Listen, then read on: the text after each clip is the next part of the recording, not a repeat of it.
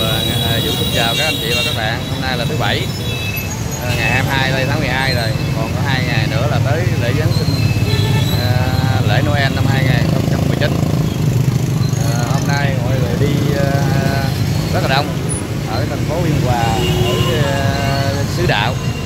Thì mình xem cái cảnh không khí Noel ở xứ đạo bây giờ nó rất là tấp nập Và mọi người đi xem đèn rất là nhiều cứ đợi ờ, mà hàng năm mà tới cái dịp Noel đó là bắt đầu đi xem đèn. Đây mình đang đứng ở ờ, chỗ giáo xứ Bắc Hải.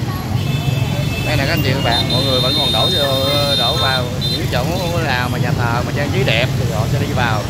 Họ tham quan. Đây, giáo xứ Bắc Hải. Đó, trước mặt các anh chị và các bạn, đó là một cây thông Noel. Cao lắm nha. Đây là có chục thước rồi đi vào nha. Đây, mọi người đang đổ xô đi vào rồi, mọi người một số người coi xong rồi đi ra.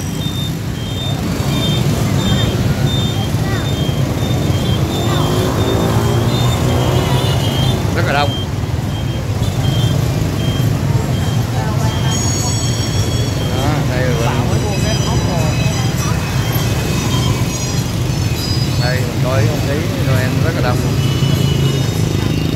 Thờ là kín mít hết rồi. Giáo sứ Bắc Hải các anh chị và các bạn đây là toàn bộ giao thông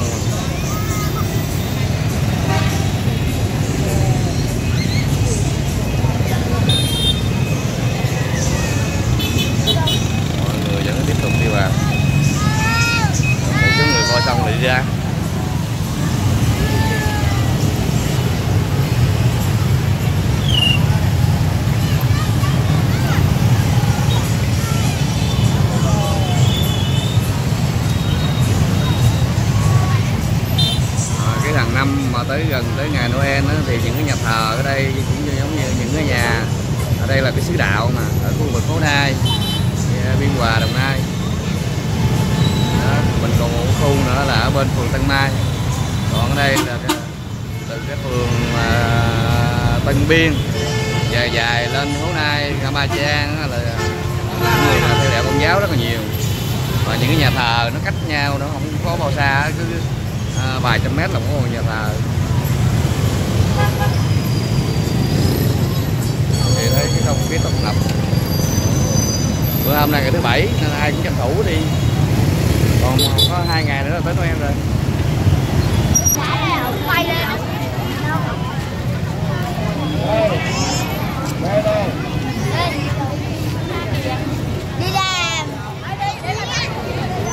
Cái chỗ mà đẹp á, thì mọi người tranh thủ chụp Noel. Đây là một cái hang đá.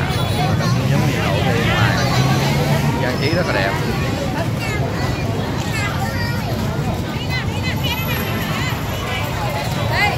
Bên cạnh mũi cây đa.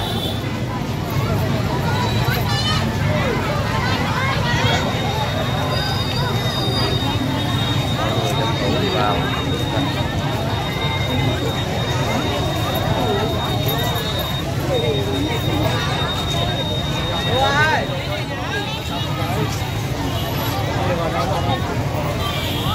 Cảnh là bán kẹo bông gòn nè. Bóng bay nữa kìa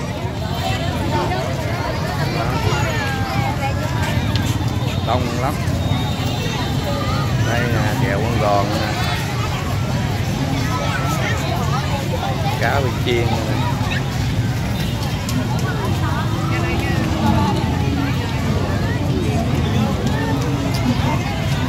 đây là bán đồ chơi.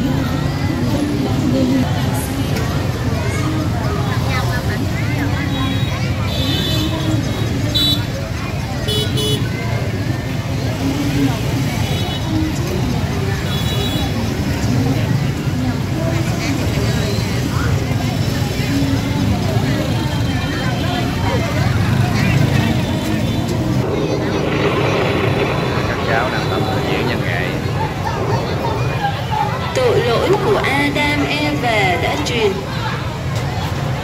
là đứng coi